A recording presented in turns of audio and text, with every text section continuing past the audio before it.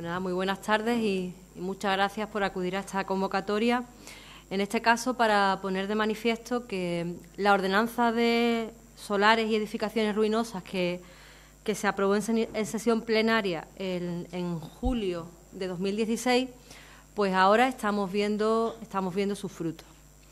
Y me refiero concretamente a que, aunque a día de hoy, y tal y como la ordenanza describía, eh, había que,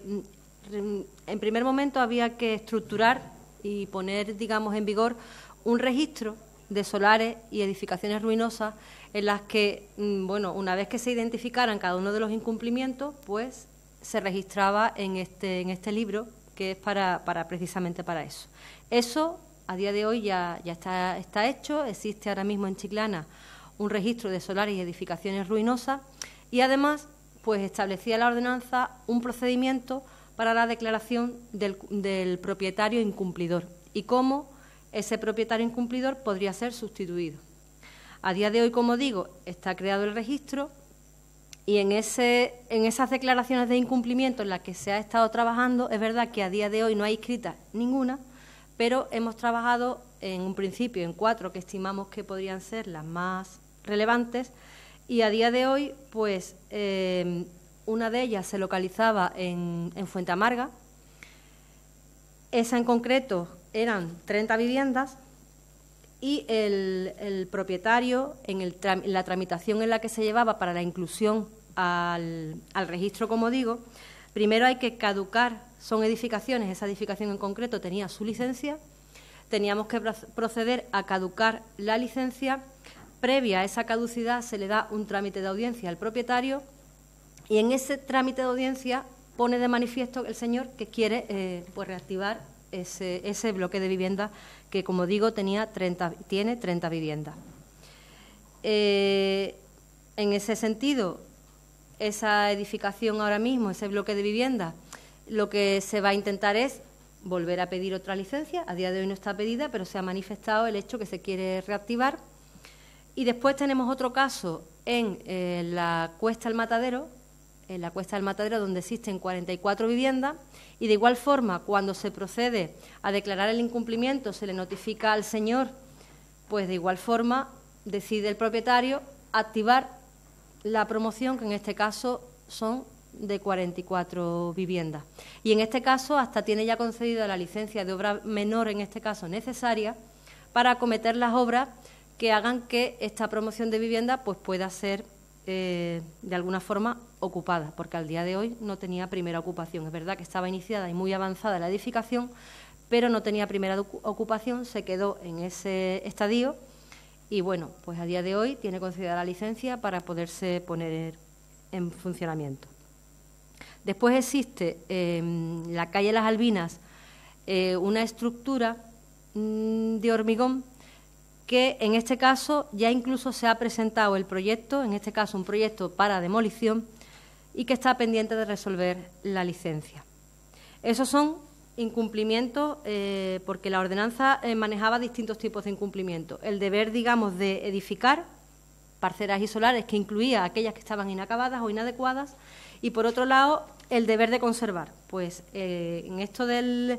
del incumplimiento del deber de conservación y rehabilitación, existe una finca en la calle Huerta Chica en la que nosotros habíamos declarado la, ruina. Y los señores, los propietarios, han solicitado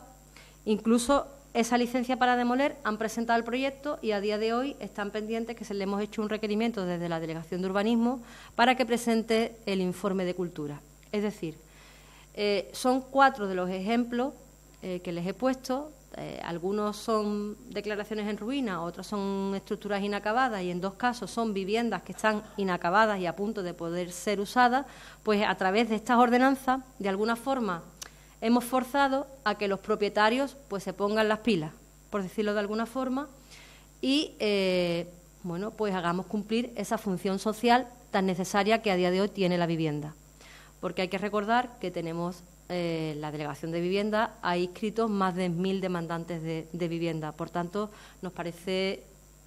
mm, injusto que existan viviendas vacías y que se encuentren en ese estado tan avanzado para poder ser terminadas y que eh, bueno, habiendo intentado eh, por parte de este equipo de gobierno pues ponernos en contacto con bancos para mediante alquiler social, ayer incluso en una reunión con inmobiliarias para también trasladarle este problema y ver de qué forma podíamos pues dotar o dar vivienda a gente que verdaderamente lo necesita, poniendo en este caso como garantía a Encisa para el pago del alquiler, eh, bueno, pues vemos que son distintas formas de reactivar lo que, lo que he comentado, ¿no? La función social que la vivienda, tanto constitucionalmente en la ley, eh, la LOA, como en la ley de, en el texto refundido de la ley de suelo y rehabilitación, pues así le dan a la vivienda. Por tanto, concluir comentando que ya estos cuatro ejemplos, bueno, pues se, se encuentran, parece ser que activos, Tendremos que seguir haciéndole el seguimiento a cada uno de ellos porque muchos de ellos todavía no han presentado su licencia, uno de ellos no ha presentado su licencia, pero hemos elaborado eh, los técnicos de la Delegación de Urbanismo eh, varios dossiers pues con otras posibilidades eh, para volver a, declarar el incumplimiento que ahora mismo está vigente en estos dossiers, tanto de solares como de edificaciones que se encuentran o inacabadas o en estado ruinoso, para igual que se han activado estos cuatro, bueno, pues ver, y si no, pues llegaríamos a lo que la ordenanza preveía, que era bien el concurso o bien la expropiación por parte de este ayuntamiento para poder activar esas viviendas. Si tienen ustedes alguna pregunta, crisis económica, evidentemente. Ahora, otra cosa es edificaciones que están prácticamente terminadas, que esas sí que tienen, por ahí hemos empezado, porque hemos, hemos creído eh, que es más necesario y en esa función social que queremos dar a la vivienda, precisamente empezar por esas que están prácticamente, pero igual, se actuaría de igual forma. Si, si en este trámite de declaración de incumplimiento eh, llegamos a declarar alguno, entonces ¿cuándo se inscribiría en el registro? A día de hoy es que nos hemos quedado en ese, nos hemos quedado en ese trámite. Si se, una vez que se inscribe en el registro hay un año, se le da un año al propietario para que ejecute el deber que tenga que, en este caso, de acabar o de rehabilitar o de construir, dependiendo de si es solar, si es una inacabada o si es una declaración de ruina. Entonces se le da un año para que ejecute lo que, el deber que tiene, digamos, incumplido. Si no lo hace, es cuando se saca concurso. Si el concurso se queda desierto, es cuando el ayuntamiento podría expropiar.